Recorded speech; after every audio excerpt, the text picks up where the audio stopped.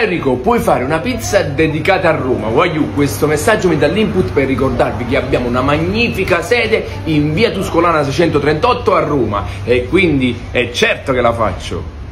Andiamo a stendere disco di pasta sottile con un po' di cornicione, la crema di stracciata di bufala e il guanciale nostro, vedi che colore, la provola da Genova, un filato l'extravergine, là, nel forno, a cottura lenta, docile e mai aggressiva. Sta pizza è pronta e va sfonnata, sì, ma va anche completata. La crema di uovo pastorizzato, un pizzico di pepe, le chips di pecorino romano, il basilico a crudo, ali mortacci tua, vedi quanto è bella, vedi che spettacolo spettacolo semplice ed efficace, replicate ma non imitate, perché pure questa si deve saper fare.